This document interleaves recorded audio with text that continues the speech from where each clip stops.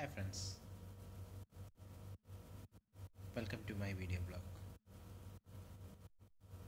Today we can discuss about how to get DOI number for free without any cost. Actually, people who published in some journals don't have any DOI number when they ever app, uh, when they are, are applying for some post or when they upload something in some website they will ask for DOI number. But they lack a DOI number. How to get a DOI number without spending any money? As well as in the journal publishers. Most of the journals smaller journals don't have this DOI number.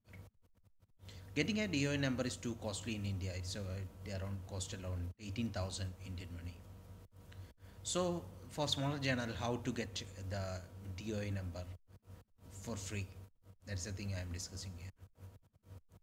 For this thing Journal Association of India has introduced a new website doie.org I'll be um, writing the web address in the below description of this video.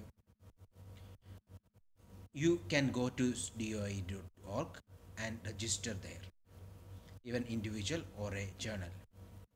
The registration is free. After registration you can upload your metadata. It will be a manuscript. It will be some data there.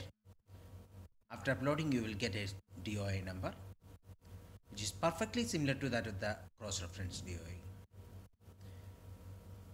the application procedure everything perfectly resemble the cross-reference DOI application.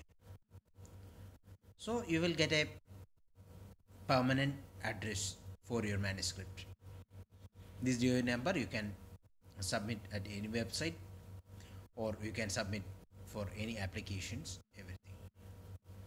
So I hope this video would have helped you to getting DOI to your articles which don't have DOI. Just log on to DOIE.org, get your DOI. Thank you for watching this video.